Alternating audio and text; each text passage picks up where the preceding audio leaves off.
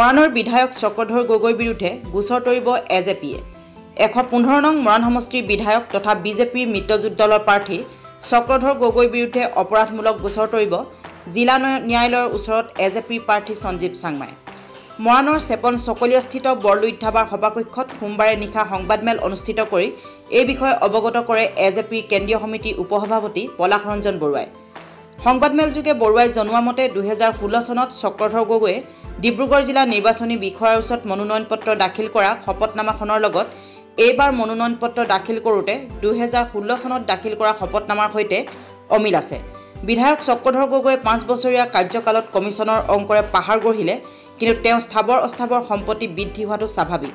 কিন্তু তেওঁ বৰ্তমান শপতনামাৰ লগত গাঁঠি দিয়া দুহেজাৰ ষোল্ল চনত দাখিল কৰা শপতনামাখনৰ মিল নাই।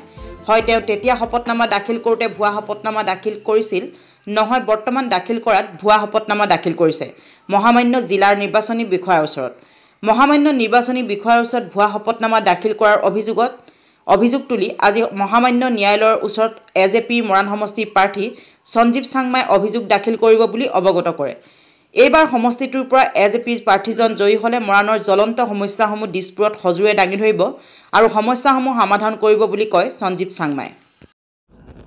মৰাণ সমষ্টিৰ বৰ্তমানৰ বিধায়কজনৰ বিৰুদ্ধে আমাৰ প্ৰাৰ্থীয়ে এটা ক্ৰিমিনেল কেছ ডিব্ৰুগড় আদালতত তৰিবলৈ ইতিমধ্যে সিদ্ধান্ত গ্ৰহণ বৰ্তমানৰ বিধায়ক মাননীয় চক্ৰধৰ গগৈ ষোল্ল চনৰ বিধানসভা নিৰ্বাচনৰ যিখন এফিডেফিট নমিনেশ্যন পেপাৰৰ লগত থকা যিখন এফিডেফিট আৰু একৈছ চনৰ পাঁচ বছৰ পিছত যিখন এফিডেফিট তাত আমি কেইবাটাও তফাত দেখিছোঁ।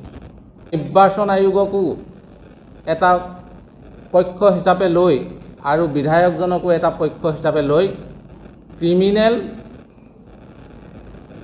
কেছ আমি কৰিম। দুই এটা দিনতে আপুনি গম পাব। Four twenty four sixty eight four seventy one I P C ধাৰাত আমি তেওঁৰ এগেইনষ্টত কেছ কৰিম। তেওঁৰ নিৰ্বাচনত যোৱা যোৱা ষোল্ল চনৰ আৰু একৈছ চনৰ বিধানসভা নিৰ্বাচনত তেওঁ যিখন এফিডেফিট দিছে সেইখনত তেওঁ কেইবাটাও নিয়ম ভায়লেট কৰিছে। মই কিন্তু আজি এটাহে ক'ম। কিছুমান টেকনিকেল কথাৰ কাৰণে বাকী কথাবোৰ আমি নকওঁ। পৰৱৰ্তী পৰ্যায়ত আপোনালোকে জানিব আমি জনাম। কিন্তু আমি সদ্যহতে অহা কালিলৈ আমাৰ সকলো পেপাৰ প্ৰস্তুত হৈছে। কালিলৈ কেছটো তেওঁৰ এগেইনষ্টত ৰেজিষ্টাৰ কৰা যাব।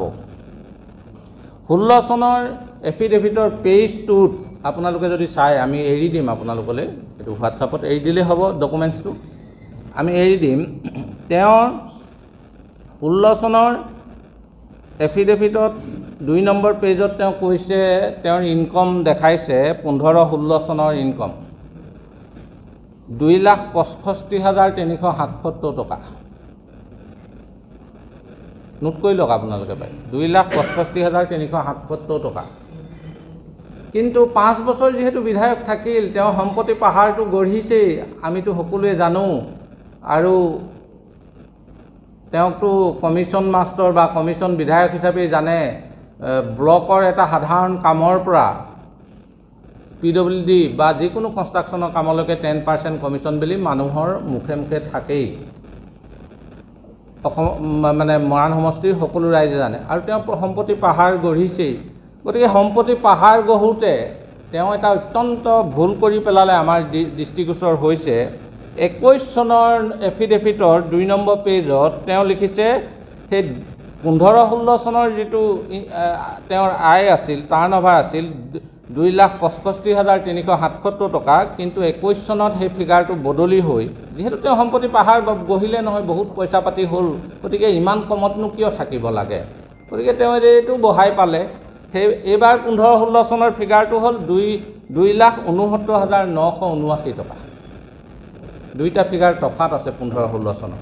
অৱশ্যে এইবাৰ পোন্ধৰ ষোল্ল চনটো নমিনেশ্যন পেপাৰ তেওঁ ষোল্ল পোন্ধৰ বুলি লিখিছে কিন্তু আমি ধৰি লৈছোঁ এইটো পোন্ধৰ ষোল্লই।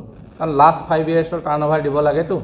গতিকে এই দুইটা তফাত হৈছে কোনোবা এখনত নিশ্চয় তেওঁ ভুল কৰিছে ষোল্লখনতেই হওক বা একৈছখনতে হওক এইবিলাক ইনকম টেক্সত নিশ্চয় এনকুৱাৰী হ'ব আমি ক্ৰিমিনেল কেছটো দিয়াৰ পিছত। হা গতিকে এইটো তেওঁ ক্ৰাইম কৰিছে তেওঁ নিজৰ এফিডেভিটত ইচ্ছাকৃতভাৱে ভুল কৰিছে তাক গতিকে আমি four twenty four sixty eight আৰু four seventy one I P চিত তেওঁৰ এগেইনষ্টত ক্ৰিমিনেল কেছ ধৰা যাব। এইটো আপোনালোকে চাৰ্টিফাইড কপি পৰৱৰ্তী দিনত আপোনালোকক আমি দি দিম। এশ পোন্ধৰ নং মহানগৰীৰ অন্তৰ্গত। প্ৰায় ষোল্ল ষোল্লটা পঞ্চায়ত আছে। ষোল্লটা পঞ্চায়তৰ অন্তৰ্গত যিবোৰ গাঁও আছে বা বাগিচা আছে।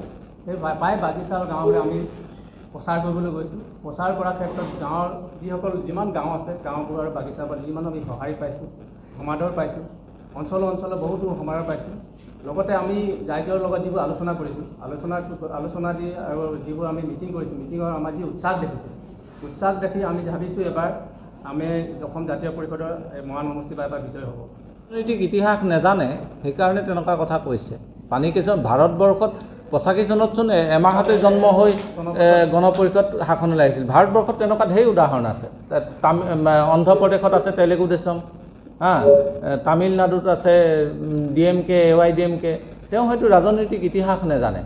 ৰাজ ৰাজনীতিৰ এক ঘণ্টাতেই সঠিক সিদ্ধান্ত ল'লে পাল্লা উল্টা হৈ যাব পাৰে। তেনেকুৱা ভাৰতবৰ্ষৰ উদাহৰণ বহুত আছে। সেইকাৰণে পানী কেঁচুৱা বুলি ইগন'ৰ কৰিছে।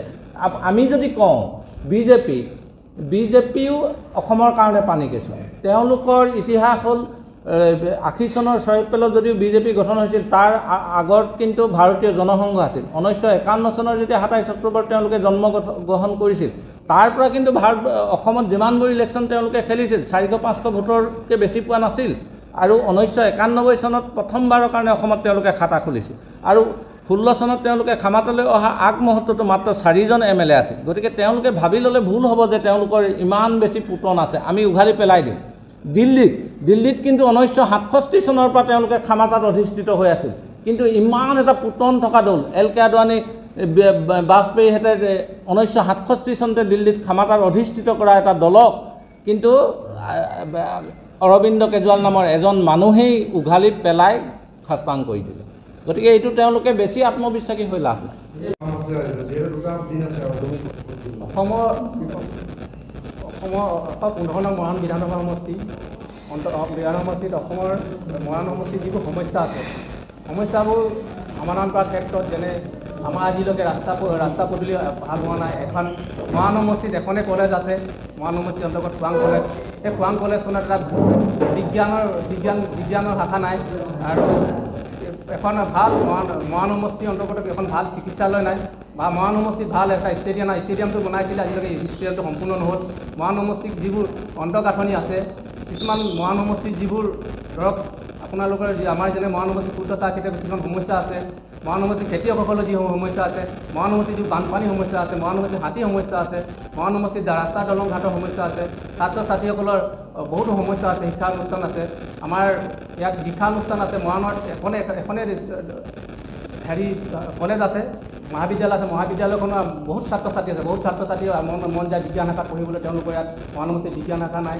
আৰু আমাৰ লৰুৱা মৌজাৰ ফালে এখন এখন আজিলৈকে কলেজ নহ'ল এটা ডাঙৰ এৰিয়া লৰুৱা মৌজাত লৰুৱা মৌজা এখন কলেজ নহ'ল। খোৱাং খোৱাং খোৱাং ব্লকতো ব্লকৰ অন্তৰ্গত যিবোৰ সমস্যা আছে ৰাস্তা পদূলি বা শিক্ষা সমস্যাবোৰ সমাধান কৰাৰ ক্ষেত্ৰত মই এইবাৰ মৰাণৰ ৰাইজৰ হৈ আগবাঢ়ি গৈছোঁ। আৰু যিবোৰ সমস্যা আছে সম- অসমৰ যিবোৰ সমস্যা আছে লগতে মৰাণৰ যিবোৰ সমস্যা আছে মই যদি বিধায়ক হওঁ মৰাণ সমষ্টি বিধানসভাত গৈ বলিষ্ঠভাৱে মাত মাতি আৰু যিবোৰ সমস্যা সমাধান কৰাৰ ক্ষেত্ৰত আজৰি আনিম বুলি মই সক্ষম হ'ম বুলি মই ভাবিছোঁ। সেইকাৰণে মৰাণ ৰাইজক আহ্বান জনাইছোঁ এইবাৰ। অসম জাতীয় পৰিষদ জাহাজ চিনত ভোট দি ভোট দিব আৰু জয়যুক্ত